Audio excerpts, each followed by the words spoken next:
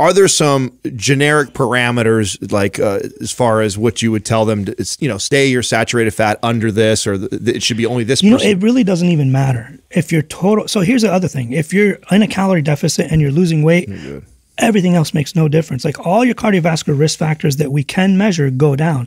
Like they've done studies where people are in a calorie deficit, regardless of the portions of macronutrients. Like they've tested where like 10% of your calories are fat, 10% are carbs, 10% are protein, and then they play with all the other stuff. And then they switch it around.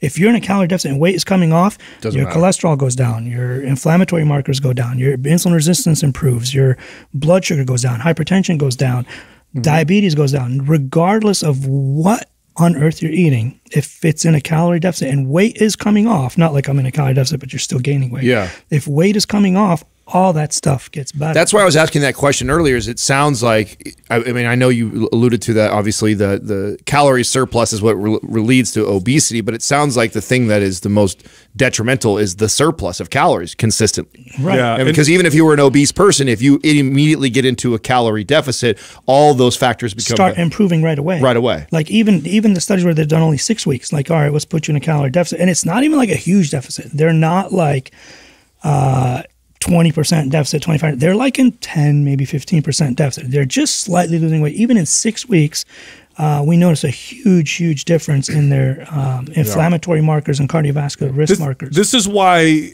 every single diet has been shown to improve work. health. It's like, oh, you know, vegan, no, keto, no. Carnivore. One thing they have in Yeah. common, yeah. they're sure. all they're all low calorie. Now, now here's the part though that I think is rarely discussed because that I mean that's 100 percent right. We know that. Um, I, I say that all the time. Like high sugar, high fat, whatever.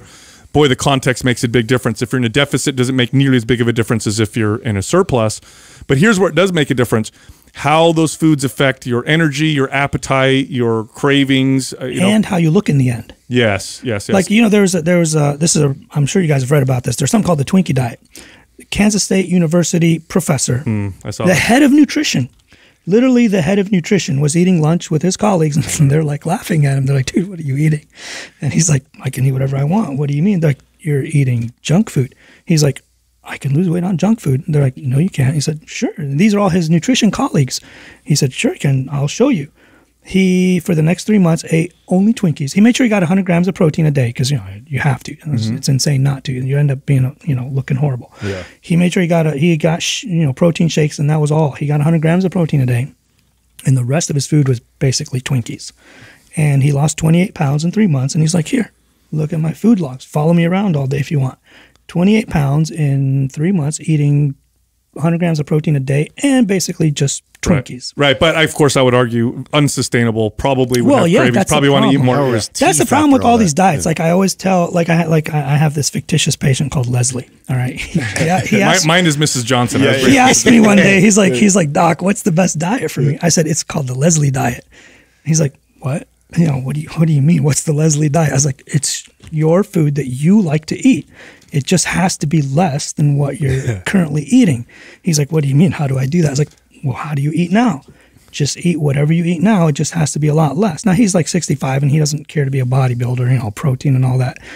I told him, listen, if I give you a diet and I call it something else, you're going to do it for two or three months and then get bored from diet fatigue. Like all these diets, keto, whatever it is, I've done most of them. Atkins back in the day, I'm sure you guys remember that, or South Beach slightly after that. It works. It works for a while and you do it. But then, like, what do you do afterwards? Am I going to keep eating ribeyes for the rest of my life mm-hmm. or not or eating grains you know paleo diet stuff that was available you know 100 years ago or the, the hallelujah diet the god diet if god didn't make it then don't eat it like if it, it has to come out of the I haven't ground heard that one. Yeah. yeah oh my god there's just a eat million manna? diets. Great. Yeah. you eat like stuff that comes out of the ground if like a god breatharian, if right? god didn't create it then you don't eat it but mm-hmm. anyways like eat whatever you like to eat because that's the only way you're going to be able to do it long term like justin's not going to eat what adam likes to eat what i like to eat you know it just doesn't work Yeah. She doesn't um, like cheese as much as me. So. yeah It's not gonna so work. just Nobody does, eat, no.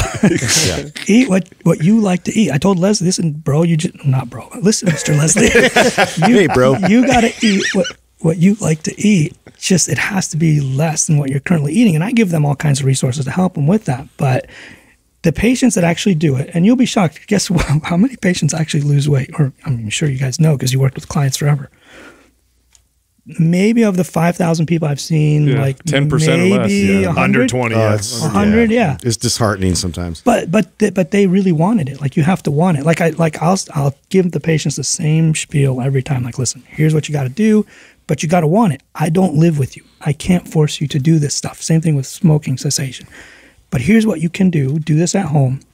If you want to do it, I guarantee you, if you do this, you will lose weight. Yeah. But you have to want it. Yeah, you're dealing you're dealing with uh, I mean just behaviors. It's just so Mm-hmm. Oh, it's all behavior. hard. It's so hard to change that in, in fundamental ways and presenting people with all the information and statistics. It just doesn't matter. Even people's own mortality doesn't matter. It's the behaviors. And they're are so seeing me because they have had cardiac problems. Like they almost died. Usually, they had a And even that heart didn't give them an epiphany. Right. Well, I can't tell you. Like I've had people have three heart attacks. They're still smoking. Oh my God. I mean, that's why it's so addicting. I mean, it, they're like, yeah, I quit for a couple, you know, a couple weeks after uh, my first heart attack, and then I was back at it. I mean, it's that it's super addicting. Same thing with people who lose weight. Like they'll, like like all the gastric bypass patients. I mean, you rearrange their anatomy. They don't have an anatomy problem. They have a psychological, behavioral, hand to mouth problem. They you you you bypass their stomach temporarily. They lose weight for a year. You guys see them afterwards. What happens after that first year or two? they stretch that little you tiny stomach back out, which it is in there. They're really all back to overweight. Some back to their beginning weight. I mean. Yeah. It's good because you save their life. Like it's called morbid obesity because it's you're gonna die. That's what morbid means. But you save their life temporarily. You gave bought them a few years, but they have to want it. Like like all my patients that eventually flip that switch. Like doc, just one day I decided that was it. And the same thing with smoking cessation. It cold turkey works the best. Forty eight percent of people who quit forever quit cold turkey. The rest of the stuff is like you know random meds, acupuncture, like one or two percent here and there. Um, but if you flip that switch and you want to lose weight and you want to get healthy, uh, it works, and and you can do it. But you have to